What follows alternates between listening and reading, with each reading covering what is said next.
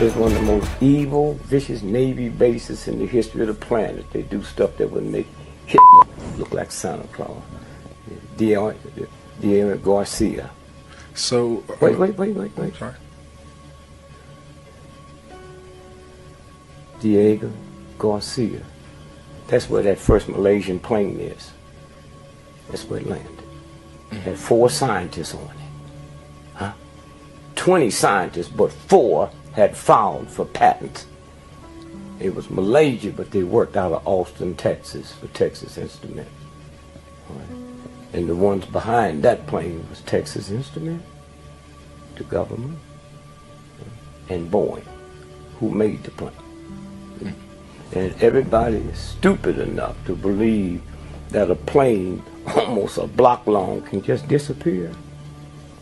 With the electronics we have, all the technology we have, the next generation of cars will come out, there'll be no driver. So we got four of those top scientists mm,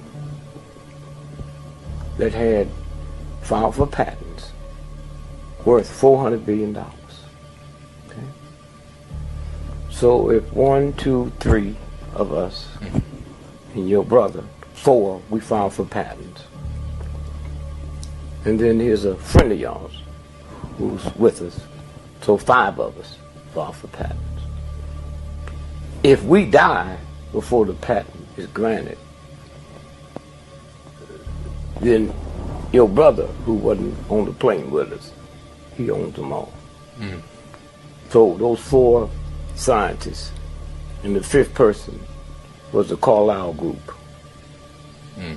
They own them all now. The patent was granted three days after the plane was missing. Wow. okay, and so what I'm saying is this is this is the game, and if you can't follow that thread, then you don't you don't see it, That's crazy. What were the patents for? huh? What were the patents for? Well, the patents was you heard people talk about they're gonna one day inject you and can control you. Well, these guys come up with something they don't have to inject you. They just put in this room and you come in and you smell it. That's that's what they were for.